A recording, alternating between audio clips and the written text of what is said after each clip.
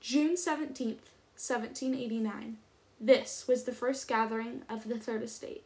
They called themselves the National Assembly. Who was the Third Estate, you may ask? Workers, artisans, and peasants who were unfairly taxed in comparison to the other wealthier estates. The Third Estate revolted, and this was the beginning of the French Revolution. The tennis court oath was one of the most influential events in the French Revolution because it sparked other events and had an impact militarily on the government and in democracy.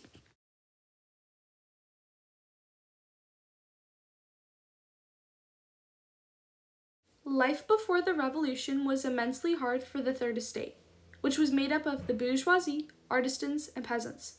About 98% of France's population was made up of the Third Estate. Out of that 98%, about 40% were peasant farmers. They were being taxed heavily by the king, even though they were already in debt. Most, but not all, members of the Third Estate were impoverished. There were a small percent who were able to live comfortably, called the bourgeoisie. They were usually shopkeepers and business owners. But all of these small groups were part of the Third Estate. They were the backbone of society, but were not acknowledged at all.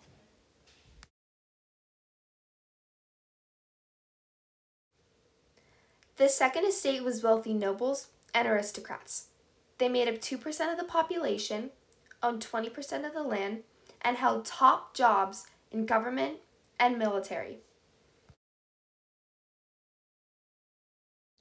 The First Estate was made up of religious leaders who were in charge of the church. They all were rich and lived like nobles. They advised the king and they paid no taxes.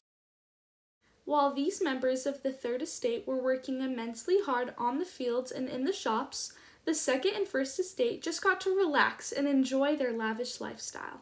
At the top of this social pyramid was King Louis XVI and his wife, Marie Antoinette. King Louis XVI took the French throne in 1774, but proved to be an unsuitable leader. He failed with properly handling the financial problems inherited from his grandfather, King Louis XV.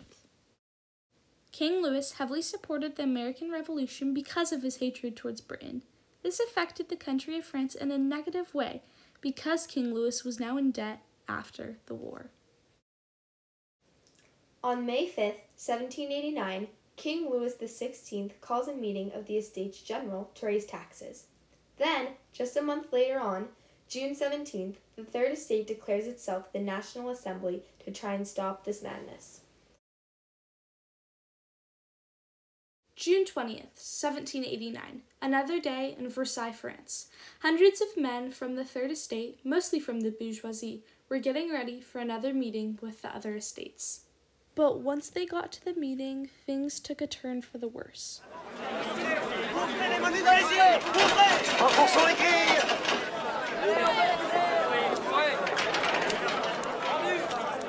Au nom du ciel, qu'est-ce qui se passe Dites-moi. On nous empêche d'entrer, ordre du roi. C'est un outrage Third Estate soon realized King Louis locked them out of the meeting, but they wouldn't let this stop them. They didn't want the king and the other states to have a debate about their rights like it was nothing.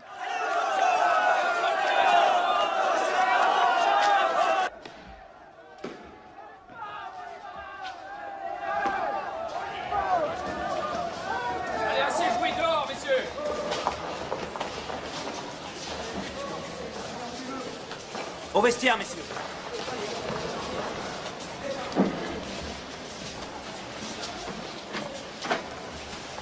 Bailly, à vous la parole. They ended up moving to an indoor tennis court known as the Salle des Juges Paume in French.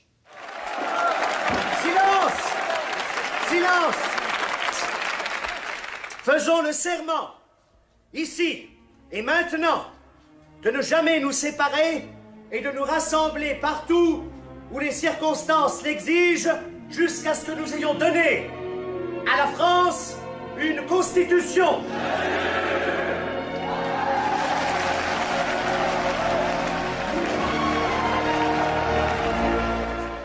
Tennis court oath said they were not to separate and to reassemble wherever circumstances require until the constitution of the kingdom is established.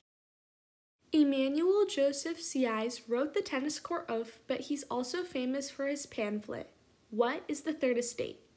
These are two of his most famous quotes you may recognize. Is the third estate? Everything. What has it been hitherto in the political order? Nothing. What does it desire to be? Something. Gentlemen, we have a master. This young man does everything, can do everything, and will do everything.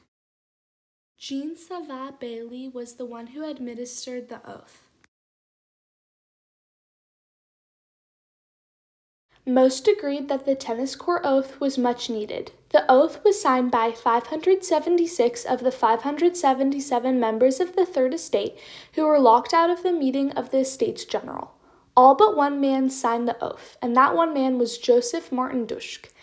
And his reasoning was I would only execute decisions made by the king. He was the only one still willing to stand for the king after he locked them out of the meeting.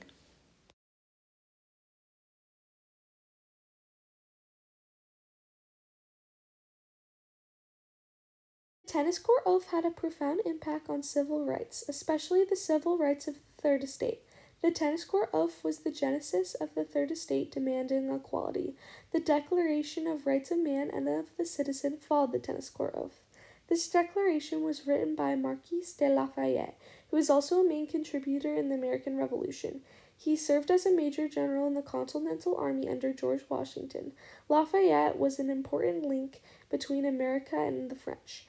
The Declaration was adopted between August 20th and August 26, 1789, by the National Assembly. This declaration was modified several times into different constitutions. The Constitution of 1795 was a more finalized one. This doctrine stated that men are both free and remain free and equal in rights. Other rights included were freedom of speech and freedom of religion. Major thinkers of the French Enlightenment influenced this document. Some of these thinkers were Montesquieu, who advocated for the separation of powers, and Jean Jacques Rousseau, who wrote the General Will, which stated the state represents the general will of the citizens. This 1795 constitution came later in the history of the French Revolution. This tennis court oath helped spring such disclosure into action.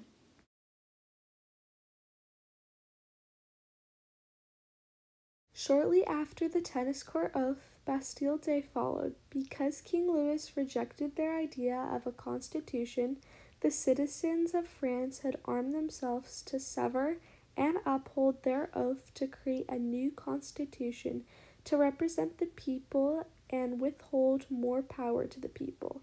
After the fall of Bastille and many more breakouts and battles, years later, King Louis was forced to sign the Constitution.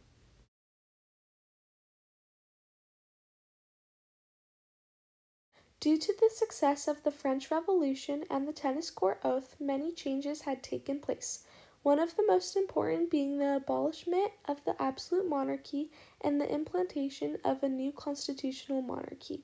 This was made to be governed by a monarch but controlled and checked by a parliament. This government system had created and encouraged a more democratic state in France and allowed for a reduced influence of the upper class and had increased the powers of the middle and lower class.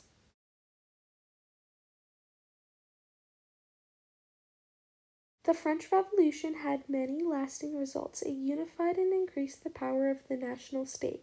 It increased the feeling of French nationalism and it set a precedent for the democratic French government. Although it did not solve class inequalities, the French Revolution led to a merge of the middle class. In conclusion, the tennis court oath had a massive impact on the French Revolution. One success of the tennis court oath was that it set the foundation for the Constitution of 1791. A failure was that King Louis disagreed with the idea of a constitution at first and rejected their request, leading the Third Estate to storming Bastille. The tennis court oath ignited a desire for freedom and democracy within the hearts of the Third Estate, but the unfair government disapproved of their request. The French Revolution sprang into action.